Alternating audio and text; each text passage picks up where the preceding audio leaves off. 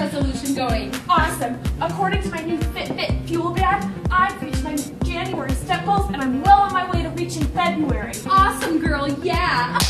Should we take the stairs to go towards your 2014 resolution? Great idea, Awesome, let's go.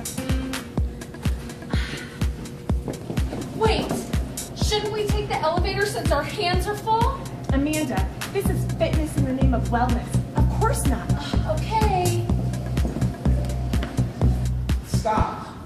I really dig that you're going to sweat it out and take the stairs. But wellness is more than just about exercise. It's about safety, too. You're right, Patrick O'Simmons. But how will I reach my step goal for the day? After we drop your stuff and take the elevator, then we can do some jazzercise. Yeah! Let's get moving!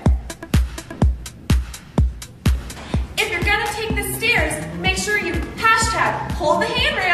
And if your hands are full, make sure you hashtag take the elevator. Hashtag target zero. Hashtag make it personal.